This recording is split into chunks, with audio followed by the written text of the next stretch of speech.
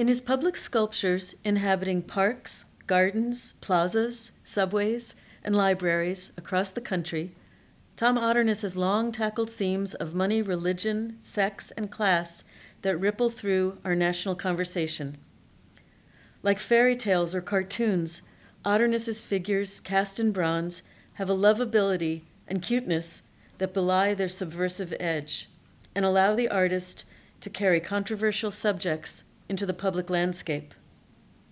Walking into Tom Otterness's worlds, full of characters and creatures, with their surprising disparities of size and scale and puzzling meanings, is the artist's way of commenting on society.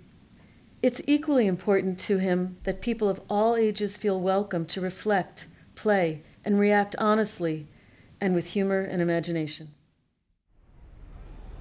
Hey, I'm Tom Otterness. Uh, I, I made the real world in Battery Park City. I thought it'd be good to shoot here and we can see some of the small, I'm using some of the same small six inch figures that I used 40 years ago. A lot of the techniques come from early animation, cylindrical arms and unit heads and stuff that can move easily. And I tried to just boil down what I thought were the social types. I didn't want to be racially specific, so this this uh, smiley face was the solution for that. So I could make a universal person, but what are the universal classes of people that we deal with here in the city or in the world? And so what people really identify with are the smallest figures. And to be able to give them this kind of superhuman strength, you know, I can make a, a little gal picking up a whole building. It's like Mighty Mouse. It's one of the joys of animation is that you can set up these just give them enormous strength and energy and power. So normally I, I cast these sets of figures in five different types, and it's you know my favorite rich people, and then white collar workers, male and female, blue collar workers, kind of a construction guy and a babushka hatted lady, radicals who have no clothes and uh, pointed hats and cops. So I take these figures and, and put them in warm water until they warm up enough that I can manipulate them. And then it's just like toys. You just can turn heads and hands and arms and legs. And so I could make, I could have a cop join this effort. So from this, um, these waxes are taken to the foundry and covered in in uh, a special plaster, and and and then they're put in an oven, and the plaster burns out, and there's an empty space. They turn that mold over, and they pour in bronze, and anything that was wax, every little detail in the wax becomes bronze. There are different ways to come into Battery Park City to read the narrative of it. And if you come in from the DNA side, okay, it starts at the DNA chain and then goes down to the Adam and Eve scene, which is really the uh, scene of the monkeys, the mama monkey and the dad and our daughter Kelly was about to be born. She was born a week before Battery Park City opened. And I was in full imagination about what would happen.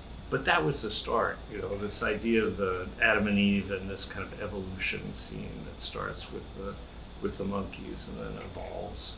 And then you can follow the path from there and it sort of in that scene then it ends inside the head. You know you follow the path all the way out and it ends inside the head. And i guess you could go the opposite way and then you read it from the head out which makes sense too you know? Everything just comes out of this kind of dream world of that big head. I grew up in, in kansas in wichita uh, playing in a creek and and i thought oh i want to give kids in manhattan some similar experience, have a little creek, but try to tell a story to them growing up in lower Manhattan about what the politics of the city is. And so having this layout of the city and, and these different class types, the body politic, the big head at one end, the big foot at the other, a fist. Uh, to me, from a long view, it looked like a body, and the center was the body of the city. When I went to present in Battery Park City, I was told make something like de Creeft's Alice in Wonderland from Central Park, which I that was a great inspiration for me, you know, to see how people engage with that. This is the food chain. Uh, if you can see the dog below, the dog's after the cat, the cat's after the bird, the bird's after the worm, and the worm is uh, resistant, sticking its tongue out at, at the end. But it's one of my favorite ones.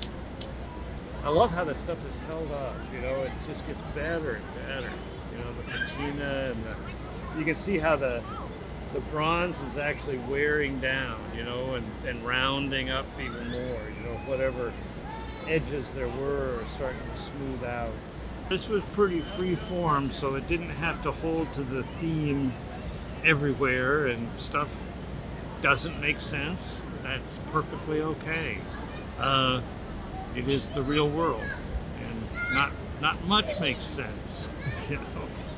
So before the Battery Park City was uh, even instituted, I think it was part on the beach out there. It was a sand lot, kind of an amazing scene of just rolling sand and the water, and then coming from from uh, the water side, looking toward the city, then you you saw the World Trade Center and all these places above this sand dune. It was like some strange Fellini movie or something that you're in, where the city is coming out of the desert, and uh, a lot of the a lot of artists hung out there just to take a break or started doing performances. I did a performance with a group of about 20 people um, as part of a series that they did out there. So that was very active, uh, Art on the Beach.